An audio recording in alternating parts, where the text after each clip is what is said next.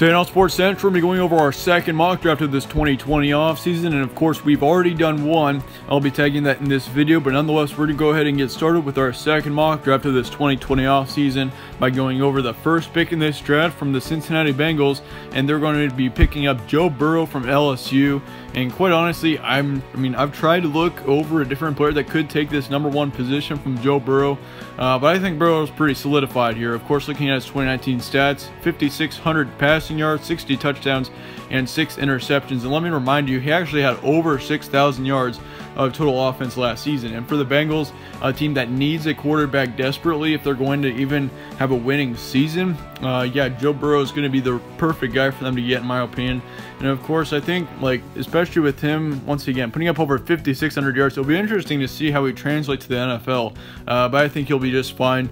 Joe Burrow is going to the Cincinnati Bengals at number one. Number two is going to be the Washington Redskins taking Chase Young and he's from Ohio State, and he is an edge, going to be the first edge to go in this draft, of course. And Ohio State really has produced a lot of great defenders in the past few years. If you look at the Bosa, or yeah, Nick Bosa from last season, I mean, they've produced a lot of great players for sure. And I think Chase Young is going to be another big addition to that. 2019 stats for him 46 total tackles and 16 and a half sacks. That is a crazy number, nearly 17 sacks uh, for Chase Young last season. And considering the Redskins do not have a defensive line at all, um, and their defense was absolutely horrendous last season. I think Chase Young would be a really good addition for the Redskins. That's why I've got him going number two.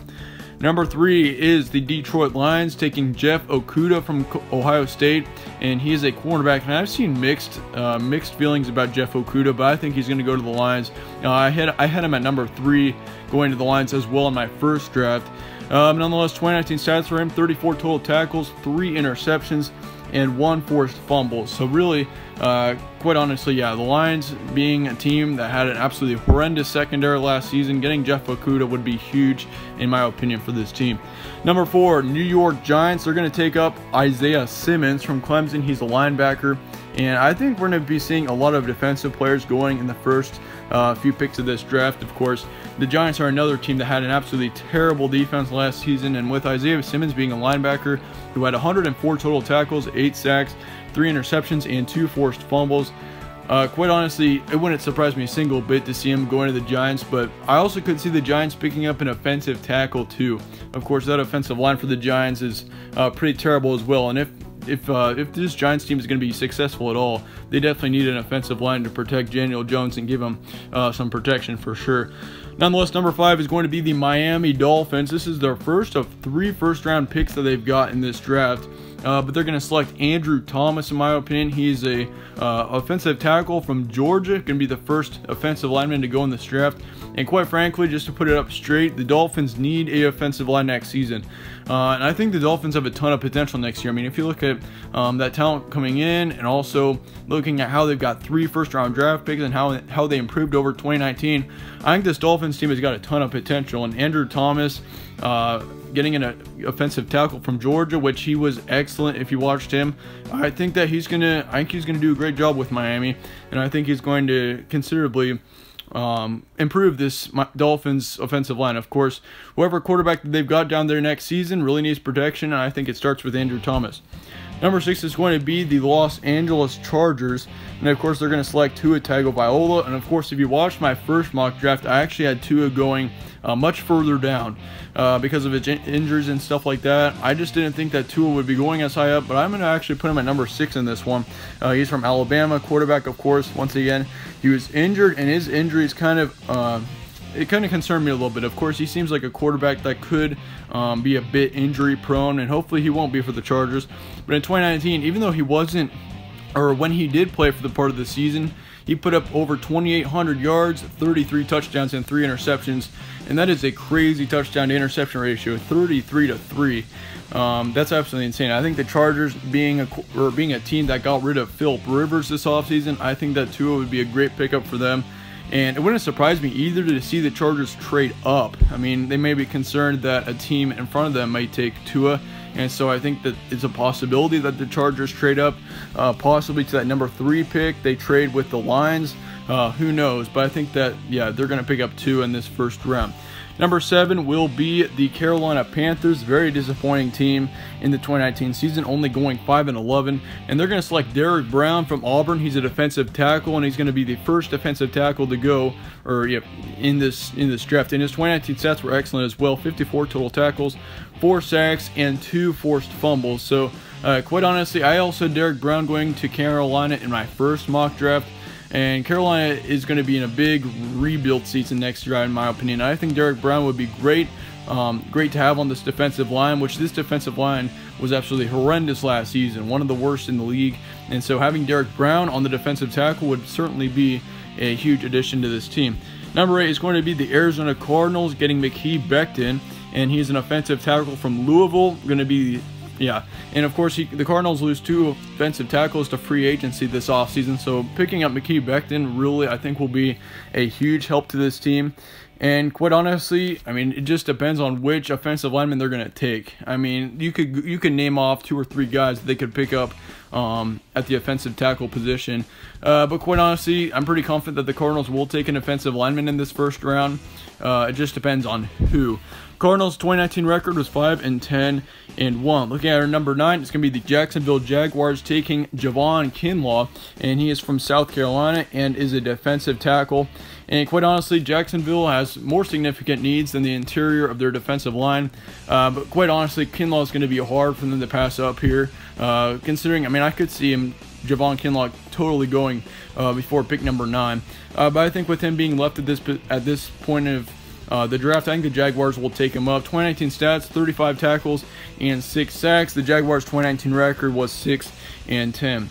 Looking at our number 10 pick, the Cleveland Browns, are they're going to be taking Jedrick Mills or Wills Jr. And of course, the Browns will do anything but address the offensive line in this spot. Uh, like they they have to get something on the offensive line. I mean, Baker Mayfield was just under pressure all the time last season. And if this Browns team is going to succeed, they really need some protection for Baker Mayfield. Like, I think he's a great quarterback. Mayfield, uh, we saw that in 2018 for a good chunk of the year. And he was a bit of a disappointment in 2019, I think we all can say. Uh, but a big chunk of that is because of the offensive line. So if they can pick up Jedrick Wills, that's going to be huge for this Browns team. And I think that they've got a chance, if they can get a good offensive line, I think they've got a good chance of making the playoffs. Number 11 is going to be the New York Jets taking AJ Epenesa, and he's from Iowa and is the edge. And I had him going much, much lower in my first mock draft. Uh, but I'm going to raise him up for this one. I think that he's got a ton of potential. And looking at his 2019 stats, 49 tackles, 11 and a half sacks, and four forced fumbles. Uh, no doubt that he's going to be a really great player. And I think for the Jets being a team uh, that really needs a defensive line, I think he'd be a great player to start off with. Number 12 is going to be the Oakland Raiders, and they're going to pick up CeeDee Lamb. And, uh, of course, he's from Oklahoma and is a wide receiver. And I think that he's going to be the top wide receiver to go in this draft. I actually had him going at number 4 in my first mock draft. I had a ton of confidence in him, and I really still do. Uh, but I think the Raiders at this point, I mean, who knows who Las Vegas's quarterback is going to be next season. Uh, but quite honestly, whoever it is, he's going to need some weapons. And I think CeeDee Lamb would be a great wide receiver to start off with. And of course, last season it looked like they were going to have a really good wide receiver core uh, with Antonio Brown leading it. But of course, then he got into some trouble. So uh, have, having CeeDee Lamb next season, I think will be a huge help for the Las or yeah the Las Vegas Raiders. And of course, 2019 stats: 42 receptions, 1,300 yards and 15 touchdowns. Raiders 2019 record was 7 and 9. Number 13 is going to be the Indianapolis Colts, and they're going to pick up Justin Herbert from Oregon. And Justin Herbert was another guy that I had much higher in my first mock draft. I actually had him going before Tua, and it wouldn't surprise me a single bit to see uh, the Chargers pick up Tua or Justin Herbert instead of Tua. Uh, but whichever quarterback is left after the Chargers pick up a quarterback, it will likely be going to the Indianapolis Colts. Of course, they have Jacoby Brissett, uh, but I think that they need a they need an actual quarterback that I think that they can really build on. I think Justin Herbert is the perfect guy to do that. Of course, he'll be the third quarterback to go in this draft. 2019 stats: 3,400 yards as well as 32 yards or 32 uh, touchdowns and six interceptions. And the Colts 2019 record was 7 and 9. So overall, yeah, for the Colts, this would be a great guy uh, to build up on. And I also wouldn't be surprised to see them take Jacob Eason. I mean, who knows? I mean, Eason's also a great quarterback, no doubt about it. Uh, but yeah, it'll be it'll be really interesting to see who the Colts take in this situation. Number 14 will be the Tampa Bay Buccaneers, and I've got this team picking up Jacob Eason and he's going to be the fourth quarterback to go in this draft. He's from Washington, and he is a quarterback. 2019 stats: 3,100 yards of passing, as well as 23 touchdowns and eight interceptions. And of course, I mean, he's done really well over his career. And he had a little bit of a disappointing season in 2019. I mean, over 3,000 yards is great, uh, but if he's going to succeed in the NFL, he's got to lower that interception rate. I mean, 23 to 8 is good, but that's not really a big NFL level. So. And concerning Hughes at Washington and stuff, he's yeah he will need to lower that number a bit. Nonetheless, Buccaneers 2019 record was seven and nine, and picking up Jacob Eason would be huge. Of course, Jameis Winston won't be around likely in Tampa next season, so Jacob Eason would be a really big pickup in my opinion. Number 15 will be the Denver Broncos, and this team is going to pick up Tristan Wirfs. He is from Iowa, will be the second player from Iowa to go in this draft, and he's an offensive tackle. And quite honestly, to put it up straight, Denver needs offensive lineman help if they if any quarterback under center will be succeeding for this team. And I mean, we've seen or we saw a lot last season, whichever quarterback uh, was playing, no matter whether it's Drew Lock or Joe Flacco. I mean, their offensive line was absolutely terrible. And so picking up Tristan Wirfs would be a huge help for this team, no doubt about it. And I think it gives their quarterback a lot of potential if they can pick up Wirfs at this point in the draft. Number 16 is going to be the Atlanta Falcons, and they're going to pick up Kristian Fulton, and he is from LSU and is a cornerback, going to be the second corner to go in this draft. And looking at his 2019 stats, 38 tackles and one interception, not all that impressive. Uh, but nonetheless, I mean, no doubt that uh, the Atlanta Falcons need a good pass rush right now. And I think that, or a good secondary right now, and Kristian Fulton being uh, a really great quarterback from LSU is going to do a really great job of that. Falcons 2019 record was 7 and 9. Number 17 is going to be the Dallas Cowboys. And I think they're going to pick up Grant Delpit. I actually had Delpit going uh, much, much later in my first mock draft, but i have got him going at number 17 in this one. He's from LSU and is a safety. Going to be the first safety to go in this draft. 2019 stats for him 65 tackles, 2 sacks, 2 interceptions, and 2 forced fumbles. Uh, but quite honestly, I mean, you've got a couple really good safeties in this draft. The other one being Xavier McKinney, which I had Xavier McKinney going at this spot um, in the last draft, and I actually had Grant Delpit going to San Francisco, which is probably going to be the other team to take a safety. Uh, but yeah, I mean, Grant Delpit, I mean, you could go either way. One of those two guys, though, will be going to Dallas, and the other one will be going to San Francisco, very likely. But the Cowboys' 2019 record was 8 and 8. Uh, so yeah, once again, picking up another great player for their secondary would be huge for the Cowboys in this situation. Number 18 is going to be the Miami Dolphins' second first round pick, and this time they're going to pick up K'Lavon Chaisson. College is going to be, or his college was LSU, and he was an edge. Going to be the third edge to go in this draft, and his 2019 stats were, were exceptionally great 60 tackles, six and a half sacks, and one forced fumble. And quite honestly, I mean, yeah, if you if you looked at the pattern already, we've actually had three straight LSU players going, and quite honestly, just shows how great LSU's class was last season. Uh, yeah, K'Lavon Chaisson is going to be going for the Dolphins in this pick. Once again, Dolphins 2019 record was 5 and 11. Number 19 is going to be the Oakland Raiders again, and this time they're going to pick up CJ Henderson, college's Florida, and his position is a cornerback, going to be the third corner to go in this draft. 2019 stats for him 33 tackles and one sack. And quite honestly, I mean, the Raiders really need some big improvements in their secondary as well. And really, the defense in general needs a lot of great players. And I think they're going to pick up CJ Henderson in this situation. And um, yeah, once again, if they can pick him up, I think the Raiders secondary will drastically improve in 2020. Number 20 is going to be the Jacksonville Jaguars, and they're going to pick up Patrick Queen, another LSU player, and he's a linebacker. And of course, his 2019 stats 85 tackles, 3 sacks, and 1 interception, so he had a really good 2019 season. Uh, but nonetheless, uh, yeah, I wouldn't be surprised uh, to see Patrick Queen go in this situation. I think I also had him going at number 20, the Jaguars, in my first mock draft as well. Number 21 is going to be the Philadelphia Eagles, picking up Jerry Jeudy from Alabama, and he is a wide receiver, going to be the second receiver to go in this draft. 2019 stats, 1,100 yards and 10 touchdowns. So, uh, but quite honestly, the Eagles could also pick up Henry Ruggs, in my opinion, at this position. Uh, I wouldn't be surprised to see Henry Ruggs go at all um, in this in this position. But yeah, Jerry Jeudy, I've got going at 21 right now. Um, but I mean, once again, I'm pretty confident that the Philadelphia Eagles will be taking a wide receiver receiver at 21 in this draft. Eagles 2019 record was 9 and 7. Number 22 is going to be the Buffalo Bills. And outside Yetur Gross going at number 22 in my last mock draft. College Penn State. He's an edge, going to be the third edge to go in this draft. In his 2019 stats, 40 tackles, 9 sacks. And the Bills 2019 record was 10 and 6. And quite honestly, the Bills were probably one of the biggest surprises of 2019 for me. I mean, 10 and 6 was really a big push um, for them. And quite honestly, they had a really good chance of making or going far in the playoffs too, if you consider. I mean, it was very impressive. Uh, but nonetheless, number 23 is going to be the uh, yeah the New England Patriots, and I think they're going to trade up with the Miami Dolphins. And their original pick was 26, but they're going to move up to 23 to get Cole Kmet from Notre Dame, and he's a tight end, going to be the only tight end going in this first round. And his 2019 stats were exceptionally great: 43 receptions for 550 yards and six touchdowns as well as that. So and considering the Patriots, ever since they got rid of Rob Gronkowski, or actually they didn't get rid of him, he just retired. Uh, but yeah, they, they considerably struggled last season. I mean, you gotta and you gotta consider how big that tight end was to this team. And I, I think picking up Cole Kmet would be a huge addition here, and it really it really just kind of uh, help this offense, no doubt about it, and whichever quarterback will be taking over for New England next season since Tom Brady is leaving. Number 24 is going to be the New Orleans Saints picking up Henry Ruggs III. And once again, I would not be surprised to see Henry Ruggs going to Philadelphia here. Uh, but I've got, um, if Henry Ruggs does go to Philadelphia, I can easily expect Jerry Jeudy to go to the New Orleans Saints if he makes it that far.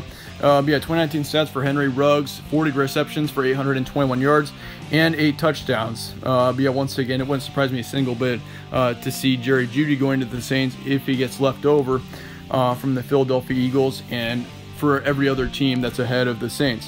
Saints 2019 record was 13 and 3, and quite honestly, picking up Henry Ruggs uh, would be a huge addition to this wide receiver core.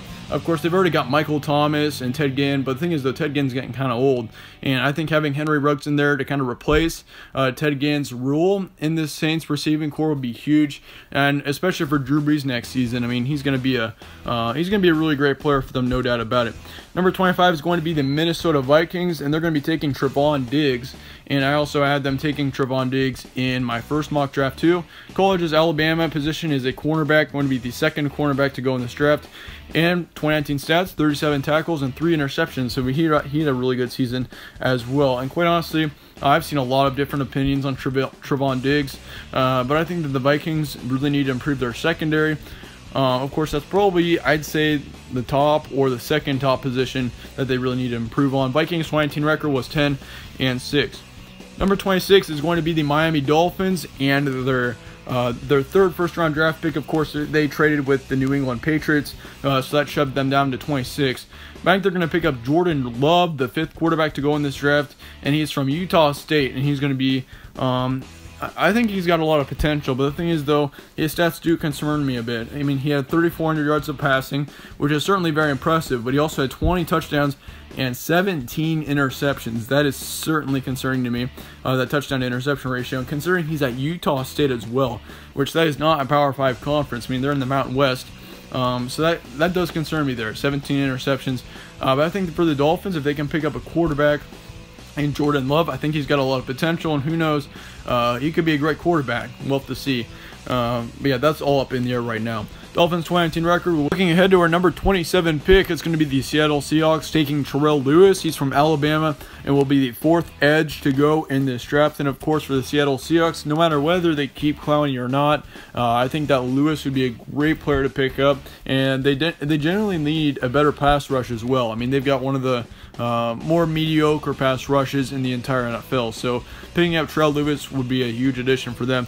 2019 stats for Lewis: 31 tackles and six sacks, and the Seahawks 2019 record was 11 and 5. Looking at to number 28, it's going to be the Baltimore Ravens picking up Kenneth Murray from Alabama, or from Oklahoma, my bad. His position is a linebacker, and he's going to be the second linebacker to go in this draft.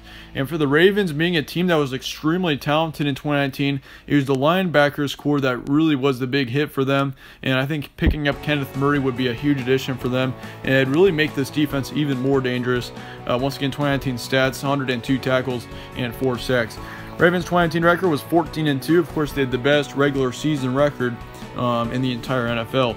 Number 29 is going to be the Tennessee Titans, and they're going to picking or they're going to pick up Neville Gallimore, and he was not in my mock draft last or for my first mock draft. I actually had him going in the second round, uh, but he's going in the first round for this one. He's from Oklahoma and is a defensive lineman. Of course, he's going to be the third um, to go, and then the 2019 stats for him: 20, 29 tackles and two forced fumbles. And the Titans, quite honestly, were a huge surprise from the last season. Not quite in the regular season. Of course, they only went nine and seven in the regular season, and they went really far in the playoffs, all the way to the AFC Championship game where they played Kansas City. Uh, but once again, yeah, I think the Titans picking up Neville Gallimore would be a huge help for their defensive line. Number 30 is going to be the Green Bay Packers, and this time they're going to pick up a wide receiver. They're going to be picking up KJ Hamler from Penn State. Of course, in 2019, he had 56 receptions for 947 yards and eight touchdowns. And quite honestly, for Aaron Rodgers, he's got a lot of great weapons right now. Of course, he's got Davante Adams, um, Allison. He's got a couple of good wide receivers, but I think picking up another one in KJ Hamler would be huge. Uh, no doubt about it for Green Bay. And I think for Aaron Rodgers, I mean, considering he's, I mean, the, the Packers could also go with an offensive lineman here, but quite honestly, their offensive line was actually really improved in the 2019 season, no doubt about it. So if if the offensive line can continue to improve, I think you should work on your wide receiver core. And so I, I think that's what they're going to do here. And once again, the Packers 2019 record 13 and 3. They were a bit of a surprise last season as well. Number 31 pick is going to be the San Francisco 49ers. And they're going to take Xavier McKinney in this situation. He's from Alabama and is a safety, going to be the second safety to go in this draft. And of course, this could be swapped in between Grant Delpit or Xavier McKinney. Of course, if Grant Delpit goes to Dallas, um, I think that the Niners pick up McKinney in this situation. Uh, but I think if the Dallas Cowboys end up going with Xavier McKinney, I think that the Niners will get Grant Delpit, which I did have the Niners getting Grant Delpit in my first uh, mock draft. But I've got McKinney going in my second one to the Niners. Um, 2019 stats for him 95 total tackles, 3 sacks, and 4 forced fumbles. Niners 2019 record once again was 13 and 3. They made it to the Super Bowl. Another huge surprise team of 2019. And lastly, your 32nd pick and the last pick of the first round of this draft uh, will be the Kansas City Chiefs taking up Jeff Gladney. He's from TCU and is a cornerback, going to be the third cornerback to go in this draft. And quite honestly, I mean, he's a really great player. And the Chiefs, uh, they've got a good secondary, but they don't have quite a secondary that is Super Bowl level. And I think picking up Jeff Gladney would be a huge addition for them. 2019 stats for him 31 tackles, one sack, and one interception. Once again, the Chiefs' 2019 record was 12 and 4. So, uh, yeah, picking up Jeff Gladney could possibly make the Chiefs make another Super Bowl appearance. So, I mean, I mean, who knows? I mean, this this Chiefs secondary was probably the worst part of this team last season. But nonetheless, that about wraps up our second mock draft of the 2020 offseason. Let me know your thoughts in the comments below on this. Thanks for sticking around. Thanks for sti- or yeah, thanks for sticking by as well. Uh, show some support if you'd like to. Thanks for sticking around once again, and I will see you all later.